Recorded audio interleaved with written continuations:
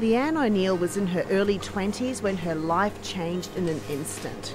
I was just driving to work and going around a slight bend, and um, the road, the car sort of skidded in the gravel, and the car flipped. But a team at CQ University is trialling a new technique to help people with paraplegia.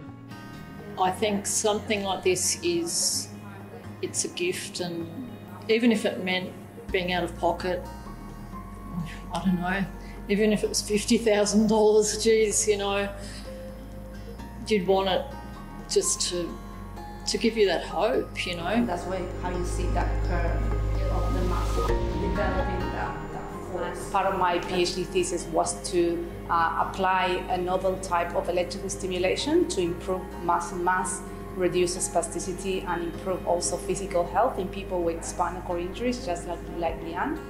So basically, what uh, how the brain works, we have electrical signals coming from the brain go through the spine and then activates the muscle. When you have a spinal cord injury, that connection between the brain and the muscle is kind of, you kind of cut that connection. So those cables are not longer functioning.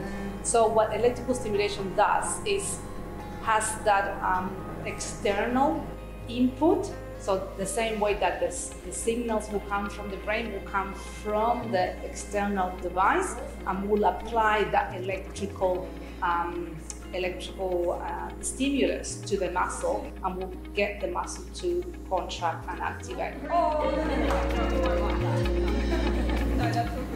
Something like this, like you know that it's not going to be a quick fix or anything, but you know, it's not only that you can't walk, it's your self esteem, your self confidence, it's all, it's all also sh- shot when something like this happens to you. People living with spinal cord injury, clearly they've got that, all those other functional issues, sitting in a, in a wheelchair for a very long time or even, you know, every day for long periods of time means that some of those functions, like incontinence, which is a big issue to manage, and particularly for young people, you know, that are making that massive adjustment to living with that disability, to have a stimulation technique like the e-stim therapy that Vanesa and her team's working on at the CQU, that those sorts of things can be really life changing. I think it's going to be essential for, um, especially people with physical disabilities living in regional and remote areas, to have access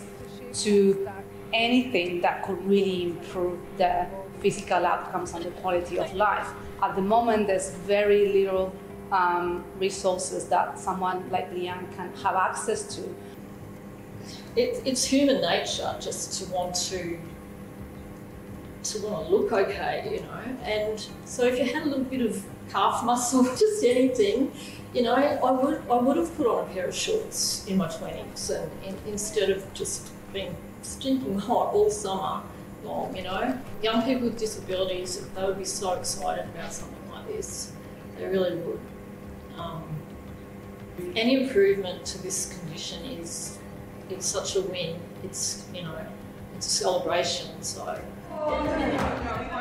it, you probably never really accept it. You just you learn to live with it, and you can have a great life. You know, you can have a really great life. I mean, look what technology is like now.